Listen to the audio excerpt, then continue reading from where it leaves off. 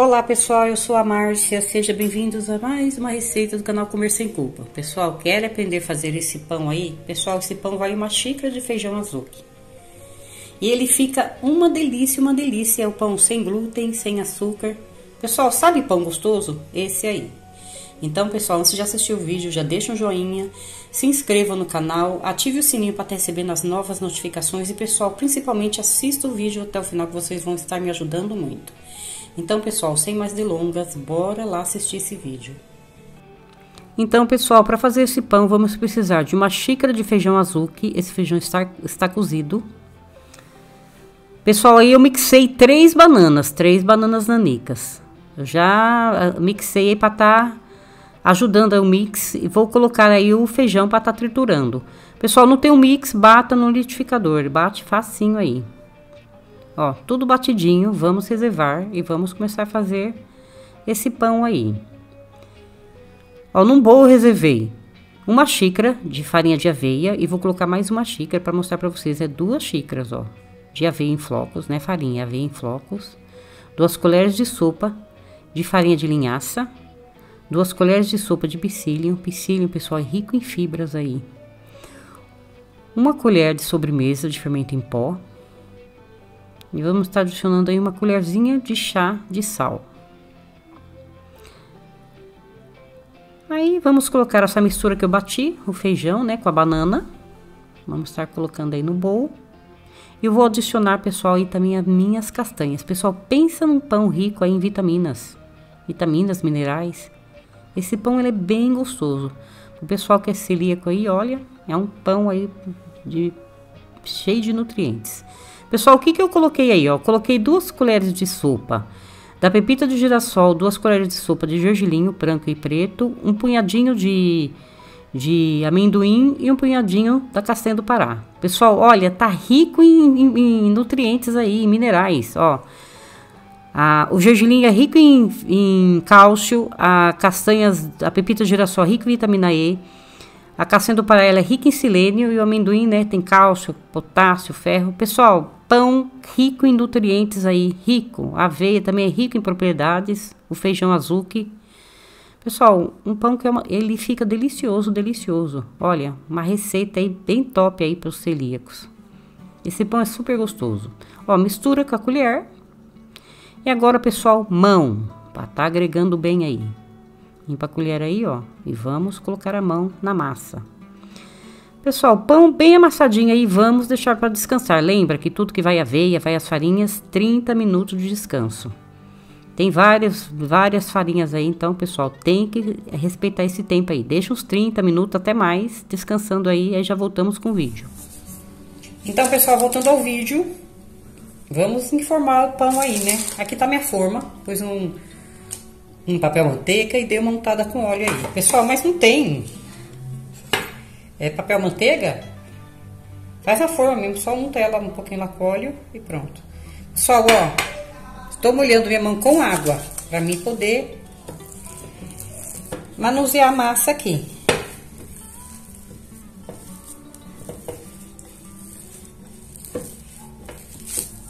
Ó, pega a massa não chupou mais um pouquinho de água. Pra não grudar muito na mão. Vocês viram, pessoal, que a massa chupou? Ó. Isso aqui, pessoal, foi o... O psyllium, né? A aveia. A farinha de linhaça. Ela chupou todo o líquido. Da banana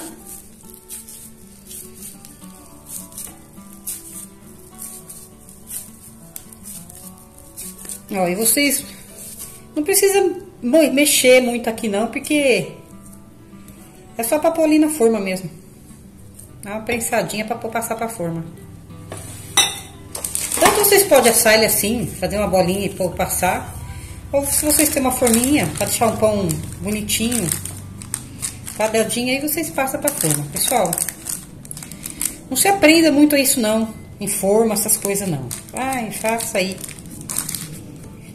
do jeito que vocês quiserem, na forma que vocês quiserem assar, a forma que vocês têm em casa, pessoal. O importante é fazer, sabe? Faça o pão da maneira que vocês quiserem aí.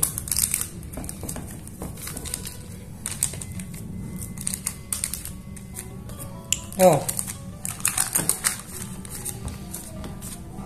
deu uma prensadinha no meu pão.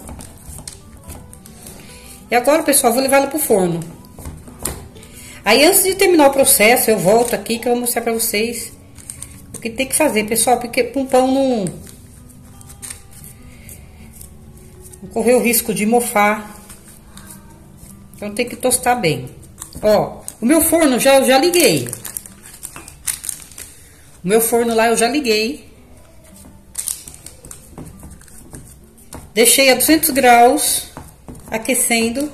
Aí, a hora que eu pôr o pão no forno, eu passo para 180 graus. E vou deixar, pessoal, ele assando lá por 30 minutos. E aí, eu já volto com o vídeo para mostrar para vocês o que eu vou fazer.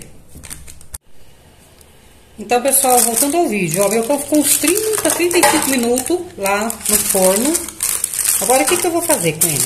Pessoal, eu vou virar ele aqui já tirei o papel, ó. Deixei ele uns 35 minutos no forno, quase 40 minutos. Aí eu tirei o papel, pessoal, e agora eu vou voltar ele pro forno novamente.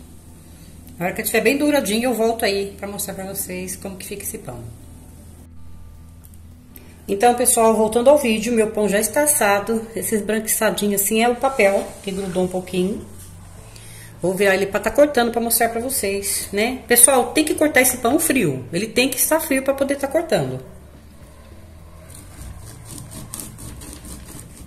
Vocês deixam ele esfriar bem e corta. Vou cortar uns dois pedaços. Pessoal, olha.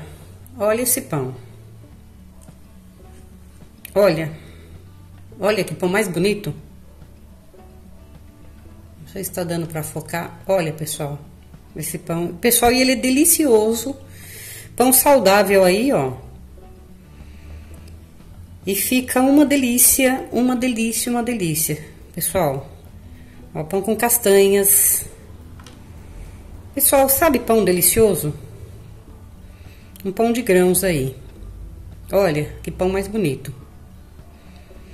E um pão sem glúten, pessoal. Pão sem glúten, sem açúcar né? Delicinha, delicinha, delicinha.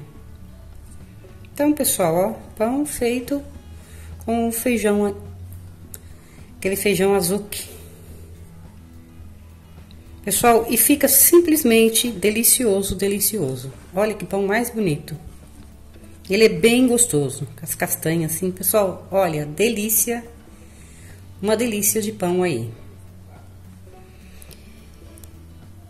cheio de nutrientes, fica simplesmente delicioso, pessoal, delicioso.